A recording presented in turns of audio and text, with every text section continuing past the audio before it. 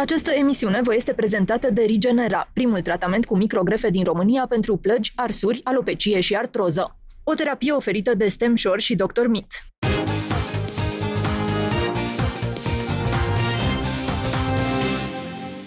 Bine ați venit la Dr. Mit. Sunt dr. Bogdan Ivănescu și mi-am propus să caut adevărul din spatele miturilor în care am ajuns să credem că vaccinarea antirujeolică duce la autism sau că vaccinurile cu ARN mesager împotriva noului coronavirus ar fi fost produse prea repede și că de aceea n-ar fi fost sigure.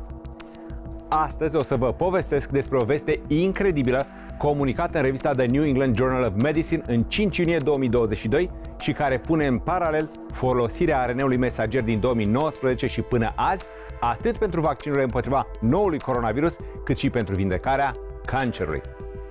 Astfel, în anul 2019, pe când în Wuhanul chinezesc se pornea o pandemie care urma să măture lumea, la New York se dădea startul unui studiu clinic care intenționa să nască un tratament eficient împotriva unui cancer foarte păcătos, cancerul rectal. Cancerul rectal sau colorectal, cum este denumit în lumea academică, este mai răspândit decât puteți crede. Statistica medicală spune că are o incidență de 10,1% de mii de persoane în cazul bărbaților și de 7,3% în cazul femeilor. Altfel tradus, 10 la 100 de mii înseamnă 1 la 10 mii. Incidența sindromului Down este de 1 la 5900, iar pe acela îl putem detecta.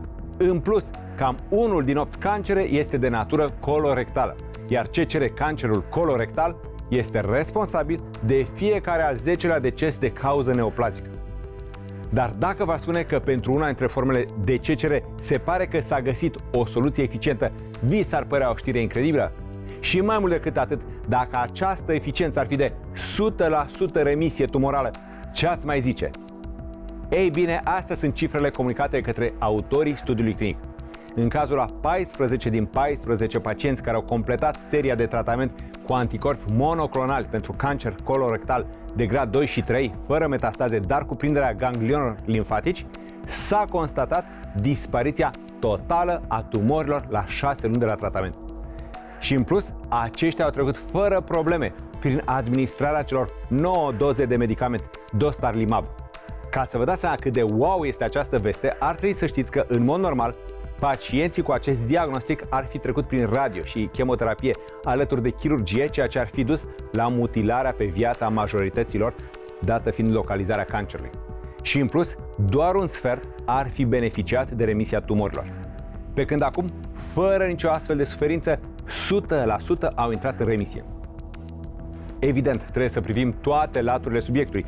Vorbim de un lot foarte mic de pacienți și care au fost tratați pentru o variantă de cancer colorectal rară. Doar între 5 și 10% dintre pacienții cu CCR prezintă această variantă. Și în plus, vorbim de certitudine în vindecare la trecerea a 5 ani de la terminarea terapiei. Pe de altă parte, trebuie să vedem ce ne aduce acest studiu clinic. În premieră, toate tipurile de investigații clinice, imagistice, imunohistochimice spun că acest cancer nu mai e prezent la niciun pacient. O astfel de eficiență încurajează găsirea formulei potrivite pentru crearea de anticorpi monoclonali și pentru cancerul de sân, pulmonar ori pancreatic, ca să vă dau câteva exemple. Oricum, acestea sunt în vârful listei pentru atingerea unor astfel de performanțe. Și dacă vă întrebați ce e un anticorp monoclonal, o să vă spun.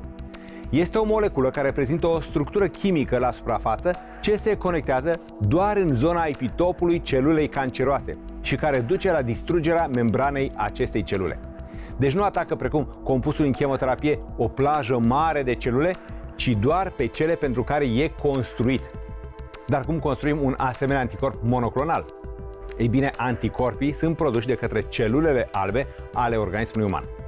Însă, în cazul acesta particular, anticorpii sunt produși în laborator de către niște populații celulare aflate în niște borcane, să le zicem, care se replică la nesfârșit și sunt mulți de anticorpi de către medici care apoi îi bagă în seringi. Aceste celule care produc anticorpi se cheamă monoclonale, deoarece ele sunt un hibridom, adică o încrucișare între o celulă canceroasă a unui șoarece care a murit acum mulți ani de melanom și o celulă stem hematopoetică umană.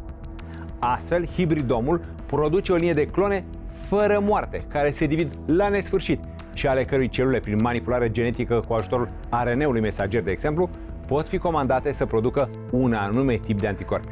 Tot ce le rămâne acum medicilor este să aibă noroc și putere de muncă ca să găsească în viitor pentru toate variantele de cancer structura perfectă de anticorpi care să ucidă tumorile pacienților.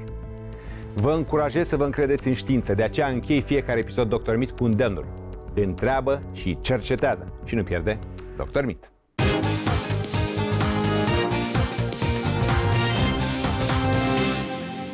Această emisiune v-a fost prezentată de Rigenera, primul tratament cu microgrefe din România pentru plăgi, arsuri, alopecie și artroză. O terapie oferită de StemSure și Dr. Mit.